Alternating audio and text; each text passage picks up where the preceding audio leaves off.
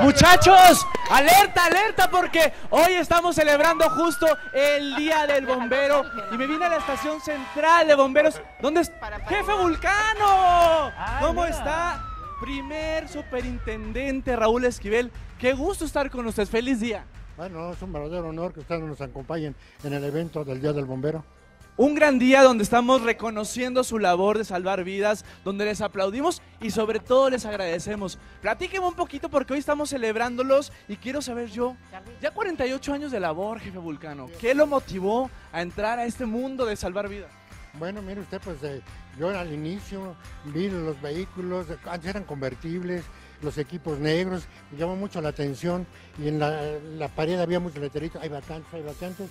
Pues de inmediato pasé y pregunté, pues era el certificado de la primaria, la cartilla y el examen físico y el médico. Cumplimos con los requisitos, fue un jueves y el lunes me presenté de inmediato y de ahí empecé a trabajar. Me mandaron a la academia seis meses, retorné y me mandan al área operativa. Eh, fue un primero de agosto del 69 y aquí permanecemos todavía. Ya son muchos años de esta labor que es usted. ¿Cuántas alertas reciben al día aproximadamente?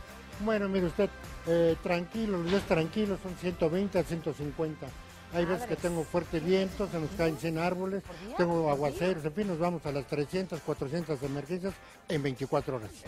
Jefa Vulcano, al ratito vamos a regresar con ustedes. Estamos completamente en vivo, compañeros, celebrando este gran día del bombero, donde nuevamente lo digo, los reconocemos, los aplaudimos y sobre todo les agradecemos. Al ratito me vuelve a dar aquí un, un recorrido, ¿no? Como no, con mucho gusto. Chicos, no me extrañen, volvemos con ustedes al estudio desde la Estación Central de Bomberos. Oye, felicidades al jefe Vulcano y a todos los bomberos, no solamente de nuestro país, en todo el mundo, porque su labor en verdad es fantástica, Heroica. es inigualable y heroica para todos nosotros. Y atención, cuidado con las falsas alarmas.